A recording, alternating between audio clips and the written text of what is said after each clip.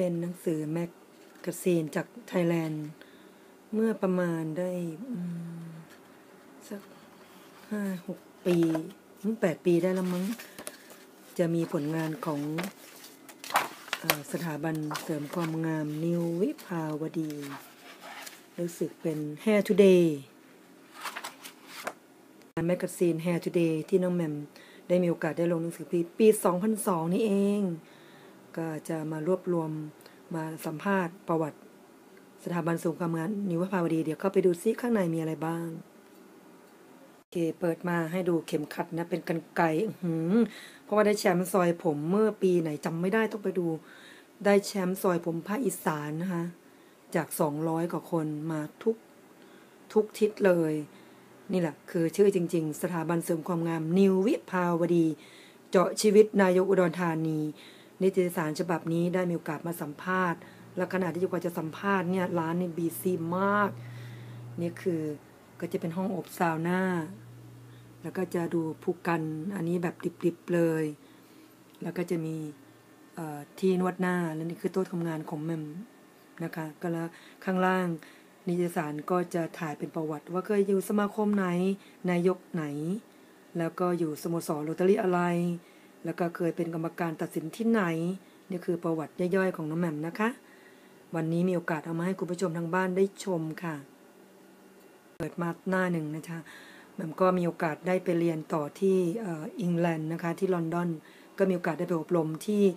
โทนี่แอนกาเห็นป้ายด้านซ้ายมือไหมคะ ถ้า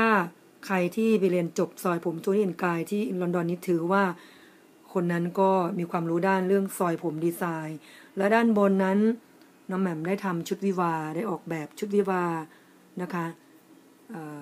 คือใครที่จะแต่งหน้าเนี่ยเข้ามาที่ร้านนี้จบเลย ทุกอย่างครบหมดก็เป็นประวัติย่อยๆนะคะรายละเอียดนะคะ อันนี้ถ่ายมาให้คุณผู้ชมได้ดู นี่คือสถาบันเสริมความนิว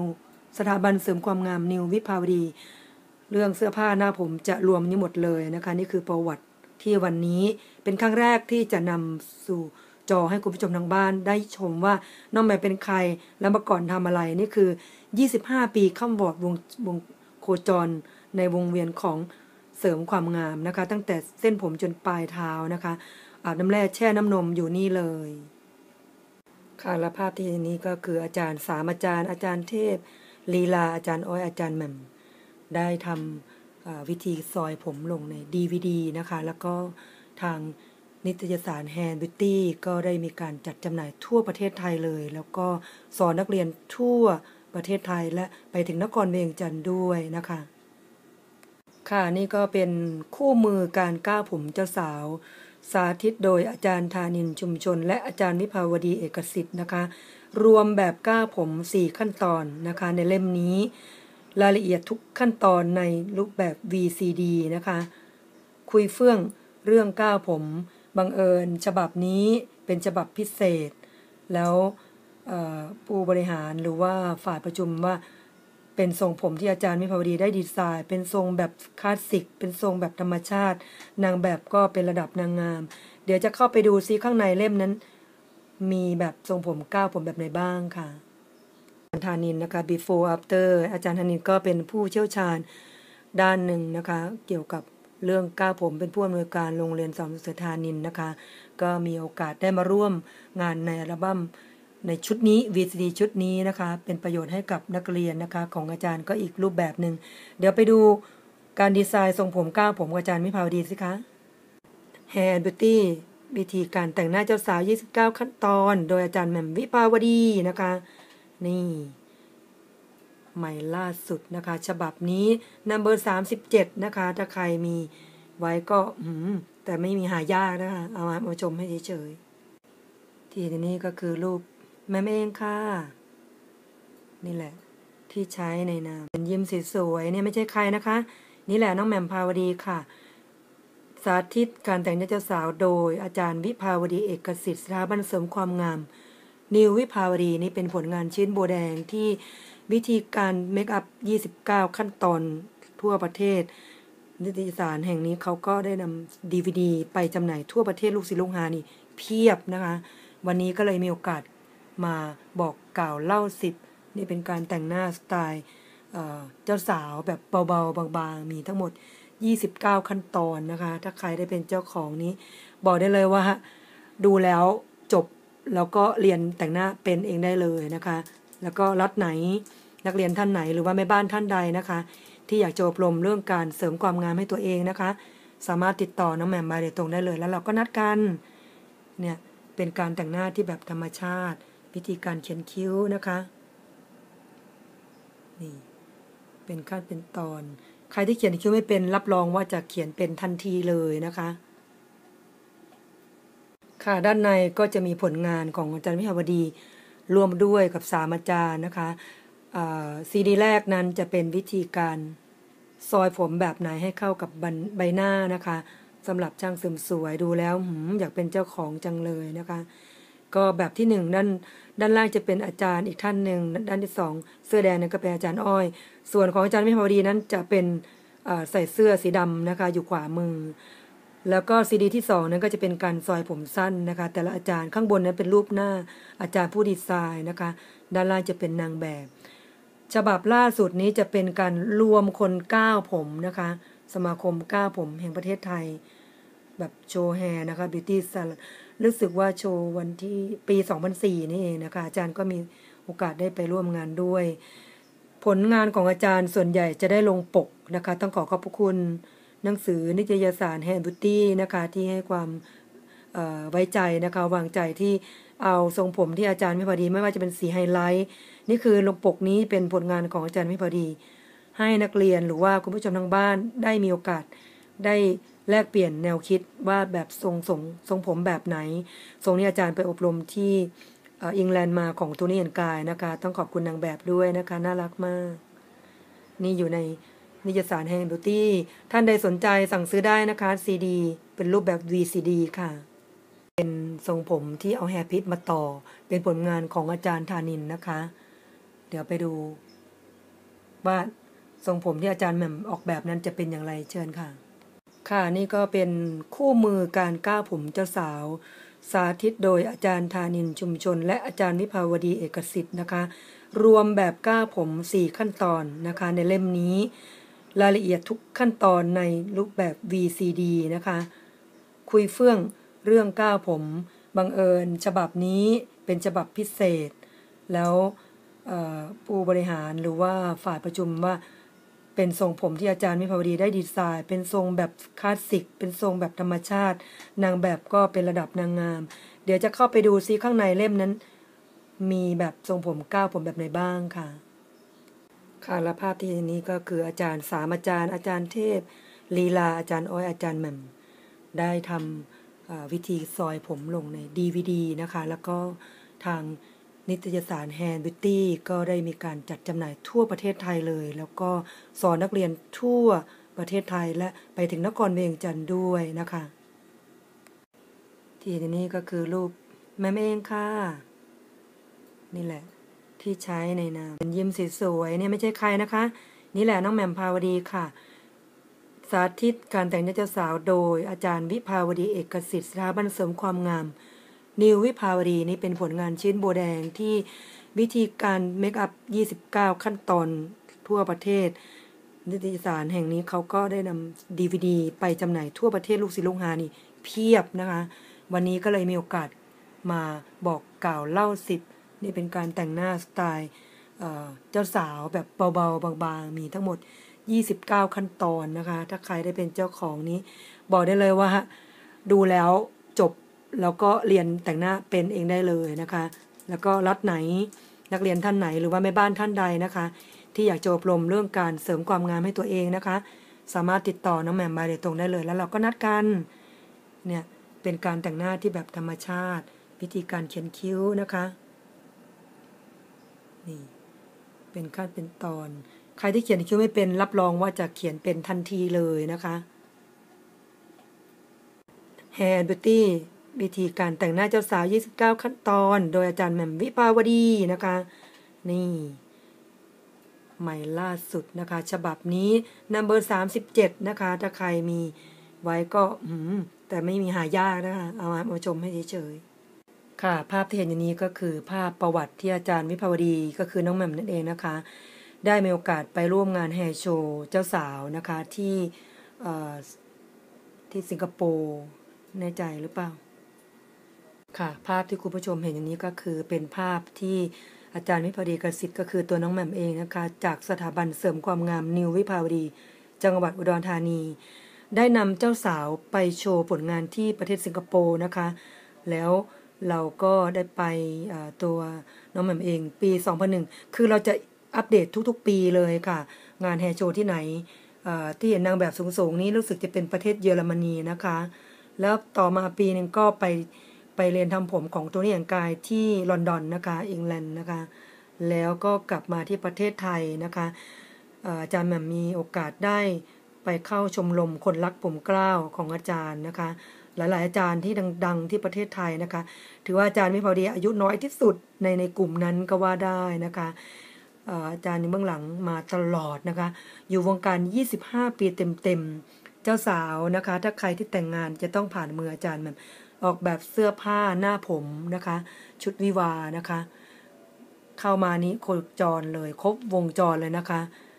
นี่คือเป็นผลงานชิ้นโบแดงที่อยากมาฝากคุณผู้ชม ได้รู้กันละนักเรียนที่อยากจะหลายท่านก้าวผมไม่เป็นนะคะ ก็ถึงเวลาล้วเราจะถ่ายทอดนะคะและนี่คือเป็นแบบที่ฮิตที่สุดในประเทศไทยเมื่อยุคนั้นนะคะ เจ้าสาวที่ทำผมแบบนี้ทั่วประเทศไทยนะคะ คนที่ดีไซน์นะคะก็คืออาจารย์วิภาวดี สถาบันเสริมความงามนีวิภาวดีนั่นเอง ซึ่งหลายคนถาม แต่ไม่เคยได้มีโอกาสได้ออกทีวี วันนี้มีโอกาสแล้ว คุณขอมา โดยเฉพาะ ค่ะด้านในก็จะมีผลงานของอาจารย์วิภาวดี รวมด้วยกับสามอาจารย์นะคะซีดีแรกนั้นจะเป็นวิธีการซอยผมแบบไหนให้เข้ากับใบหน้านะคะ สำหรับช่างเสริมสวยดูแล้วอยากเป็นเจ้าของจังเลยนะคะ ก็แบบที่หนึ่งด้านด้านล่างจะเป็นอาจารย์อีกท่านหนึ่งด้านที่สองเสื้อแดงนั้นก็เป็นอาจารย์อ้อย ส่วนของอาจารย์มิพาวดีนั้นจะเป็นใส่เสื้อสีดำนะคะ อยู่ขวามือ แล้วก็ซีดีที่สองนั้นก็จะเป็นการซอยผมสั้นนะคะ แต่ละอาจารย์ข้างบนนั้นเป็นรูปหน้าอาจารย์ผู้ดีไซน์นะคะ ด้านล่างจะเป็นนางแบบ ฉบับล่าสุดนี้จะเป็นการรวมคนเกล้าผมนะคะ สมาคมเกล้าผมแห่งประเทศไทย แบบโชว์ hair นะคะ beauty salon รู้สึกว่าโชว์วันที่ปี 2004 นี่เองนะคะ อาจารย์ก็มีโอกาสได้ไปร่วมงานด้วย ผลงานของอาจารย์ส่วนใหญ่จะได้ลงปกนะคะ ต้องขอขอบพระคุณหนังสือนิตยสาร Hair & Beauty นะคะที่ให้ความไว้ใจนะคะวางใจที่เอาทรงผมที่อาจารย์ไม่พอดี ไม่ว่าจะเป็นสีไฮไลท์นี่คือลงปกนี้เป็นผลงานของอาจารย์ไม่พอดี ให้นักเรียนหรือว่าคุณผู้ชมทางบ้านได้มีโอกาสได้ แลกเปลี่ยนแนวคิดว่าแบบทรงทรงทรงผมแบบไหน ทรงนี้อาจารย์ไปอบรมที่อังแลนด์มาของตัวนี้เอ็นกายนะคะ ต้องขอบคุณนางแบบด้วยนะคะ น่ารักมาก นี่อยู่ในนิยสารแห่งดูตี้ ท่านใดสนใจสั่งซื้อได้นะคะซีดีเป็นรูปแบบ VCD ค่ะอาจารย์ธานินนะคะ before after อาจารย์ธานินก็เป็นผู้เชี่ยวชาญด้านหนึ่งนะคะ เกี่ยวกับเรื่องเกล้าผมเป็นผู้อำนวยการโรงเรียนสอนเสริมสวยธานินนะคะ ก็มีโอกาสได้มาร่วมงานในอัลบั้มในชุดนี้ VCD ชุดนี้นะคะ เป็นประโยชน์ให้กับนักเรียนนะคะ ของอาจารย์ก็อีกรูปแบบหนึ่งเดี๋ยวไปดูการดีไซน์ทรงผมเกล้าผมอาจารย์วิภาวดีสิคะ เป็นทรงผมที่เอาแฮร์พิทมาต่อ เป็นผลงานของอาจารย์ธานินนะคะ เดี๋ยวไปดู ว่าทรงผมที่อาจารย์แหม่มออกแบบนั้นจะเป็นอย่างไรเชิญค่ะ เพราะร้านเสริมสวยนะคะ บอกว่าอยากแชร์ไอเดีย เพราะเดี๋ยวนี้ก้าผมไม่ได้เลยนะคะ นั้นก็มาเรียนรู้กัน แล้วก็ที่เห็นอยู่นี้อาจารย์มิพอดีตอนสมัยเป็นนายกสมาคมสริมสวยแห่งประเทศไทย ประจำอุดรธานี ได้มีโอกาสได้ออกแบบทรงผมและก็เสื้อผ้าให้นางแบบเป็นการภาคอีสานนะคะ ก็คือหายบ้านเชียงนั่นเองได้นำหายบ้านเชียงมามาไว้ในศีรษะนางแบบ ก็ปรากฏว่าได้เสียงตอบรับมาเยอะเลยนะคะ นั่นก็คือเป็นประวัติ ย่อยๆนะคะของสถาบันเสริมความงามนิววิภาวดี นายกก่อตั้งปี 2548 นายกสโมสรโรตารี่ปีบริหารอุ้ยเยอะเลยค่ะ งานสังคมต่างๆนะคะ เราอยู่ในสังคมที่ดีเราต้องร่วมกิจกรรมนะคะ ถ้ามีเวลาก็จะร่วมเป็นการร่วมกิจกรรมฝ่ายสังคมด้วย แล้วก็ส่วนใบประกาศต่างประเทศนะคะไม่ว่าจะเป็น Toni & Guy London ไม่ว่าจะเป็นที่ ประเทศญี่ปุ่นนะคะ แล้วก็ไปดูงาน นิวยอร์ก San Diegoไปหมดนะคะ ขอให้มีงาน hair world show ที่ไหนปารีส Japan ฮ่องกง China ไปหมดค่ะอาจารย์วิภาวดี ความรู้ไม่มีการจบเรียนได้ตลอดค่ะ อันนี้ก็จะเป็นอีกทรงหนึ่งในรูปแบบอาจารย์อาจารย์นะคะ นี่คือแหม่มวิภาวดีเองค่ะ ได้ออกแบบทรงผมเจ้าสาว มาอีกแล้ว ผมสั้นอีกแล้วนะคะ ทรงนี้ก็ได้รับความนิยมเหมือนกันนะคะเจ้าสาวก็ผมไม่ยาวมากนะคะ แล้วก็ก้าวแบบอาจารย์เรียกว่าทรงทรงทุเรียนไหม มันเป็นก้อนๆนะคะ แล้วก็ใส่เสริมแฮพินนิดนึงนะคะ นี่แล้วก็ใส่ดินทองเพื่อให้นำสมัยตลอด 17 ขั้นตอน ใครที่ก้าวผมไม่เป็นไปดู DVCD ชุดนี้ สำหรับช่างเสริมสวยทั่วโลกเลย แล้วจะเป็นหมดเลยค่ะ ใครสนใจก็โทรศัพท์สอบถาม นิตยสาร Hair & Beauty ได้เลยนะคะ มีจำหน่ายทุกวันนี้ยังจำหน่ายดีขายดิบขายดีนะคะ อืม โทรก็ไปหาบกธินกรได้เลย นิตยสาร Hair & Beauty ฉบับเดียวของประเทศไทยที่จำหน่ายวางแผงทุกๆ ต้นเดือนนะคะ สามารถติดต่อคุณเป้งได้นะคะ ใจดีนะคะ ตอนที่ ทุกคนอยากจะทราบ นี่คือเป็นผลงานชิ้นโบว์แดงของปีนั้นสมัยนั้น ของสถาบันเสริมความงามในวิภาวดี ก็คือเกล้าผมเจ้าสาวแบบต่อแฮปปี้เพราะเจ้าสาวคนนี้ ผมสั้นนะคะ อาจารย์วิภาวดีได้ออกแบบนี่คือสร้างชื่อเสียงให้สถาบันเสริมความงาม number one ของจังหวัดอุดรธานีนะคะ ร้านนี้ถ้าใครมีโอกาสได้เข้ามาคิวเต็มแน่นเลย แล้วก็เป็นเพราะก้าวผม ชุดนี้ขายดีทั่วประเทศไทยนะคะ เป็นทรงผมเจ้าสาวที่ใครๆเห็นแล้วแบบชอบนะคะ ทุกร้านจะต้องนำไอเดีย อาจารย์แหม่มเองภูมิใจนะคะที่มีโอกาสได้มาออกแบบทรงผมให้กับนิตยสารแฮนด์บิวตี้ขอบคุณคุณเป้งนะครับอกอของนิตยสารHair and Beauty คุณตินกรนะคะ แล้วก็ไปถึงที่ประเทศลาวเนี่ยนะคะ ที่เป็นช่องสถานีของ Lao Star ที่เผยแพร่ไปเยอะเลย แต่เสียดาย อาจารย์ไม่มีโอกาสไปสอนนักเรียนถึงแบบตัวต่อตัวได้ดูแต่ดีวดีนะคะ ถ้ามีโอกาสไม่แน่อ่านี่คือจุดเด่น แล้วก็เพราะเกล้าผมนี่แหละทำให้อาจารย์ไปถึงดวงดาวได้ไปชิงแชมป์ได้แชมป์เกล้าผมเจ้าสาวภาคอีสานส่งโดยโรงเรียนเสริมสวยอาจารย์ชวนพิษนะคะจังหวัดนี้เป็นสถาบันครั้งแรกที่น้องแหม่มนี่มีโอกาสได้ไปเรียนกับอาจารย์นะคะ ส่งเข้าประกวดได้แชมป์อันดับหนึ่งของภาคอีสาน แชมป์ก้าผมเจ้าสาว ก็เลยเก็บตกหล่นวันนี้เอามาให้คุณผู้ชมทางบ้าน ได้แชร์ อยากรู้จังเลยว่าทำไมอาจารย์พี่พอดีทำไมน้องแมมทำผมสวยจังนี่คือคำตอบนะคะ อยู่ตรงนี้เลยค่ะ รูปแบบก้าผมชมหน้าจะเป็นแบบนี้นะคะ นางแบบของเราก็หน้าตาสวยสดใสก้าผมให้รับกับใบหน้าของเจ้าสาว เพียงแค่นี้คุณก็จะเป็นเจ้าสาวที่สวยธรรมชาตินะคะ แต่ด้านหนึ่งนะไม่ใช่เป็นผลงานของอาจารย์นะ อันนี้เป็นการดีไซน์ของอสถาบันของชาวเวียดนามนะคะ คือผลงานของอาจารย์วิภาวดีกสิทธิ์นะคะผมเจ้าสาวที่เป็นเจ้าสาวที่ค่อนข้างอินเทนหน่อย เป็นเจ้าสาวที่เด็กๆนะคะ เห็นไหมคะว่า เวลาอาจารย์ดีไซน์ทรงผมจะให้รับกับใบหน้ากับนางแบบหรือว่าเจ้าสาวผู้นั้น นี่แหละค่ะเป็นผลงานทั้งหมดนะคะ ที่วันนี้น้องแหม่มภาวดีได้เอา เอามาโชว์ให้คุณผู้ชมทางบ้านนะคะ ที่เป็นช่างเสริมสวยหรือว่ารักสวยรักงาม มาแชร์ไอเดียมาแลกเปลี่ยนความคิดกันนะคะ เป็นไงบ้างคะคุณผู้ชมหวังว่าคุณผู้ชมนะคะ คงจะมีความสุขกับการได้ชมก้าผม หรือว่าได้รู้ประวัติอันจริง ๆ ของแมมพาวดีวันนี้ ขอบคุณที่ติดตามนะคะ ขอบคุณและสวัสดีค่ะ